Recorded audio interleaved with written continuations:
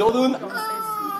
Dat komt over alsof u allemaal eh, net uit een krankzinnige gesticht bent weggelopen. Dus mag ik u één advies geven. Als u vanavond lawaai maakt, doet u dat dan lichamelijk, op zijn minst op neushoogte. Dat wil zeggen, ah of ah.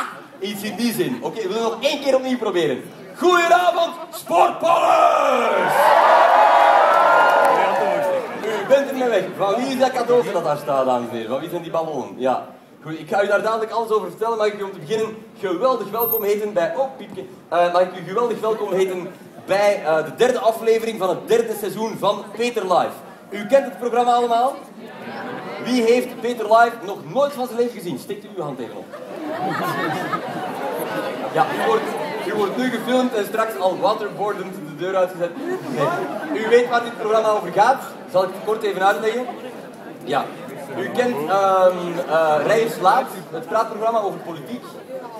Ja, dus de, de, formatie is bezig. Ja, dames en heren, ondertussen klimt, klimt er een held naar boven. Misschien kan u nog één keer...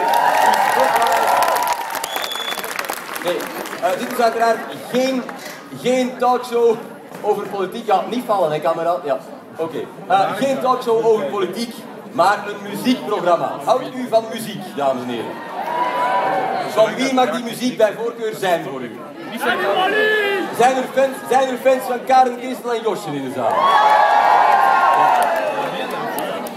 We gaan misschien even kijken. Uh, heren, alleen de heren. Heren doen nooit.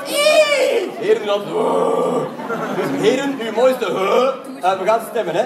Uh, met wie zou u graag eens op een verlaten eiland terechtkomen? Karen, de rosse. Karen. Christel, de zwarte.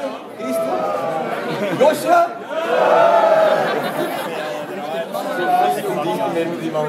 Oké. Uh, zijn er ook fans van, uh, hoe heet ze, Regie en Linda van Milk in? Dames en heren. Als ik zeg Milk in, dan doet u allemaal.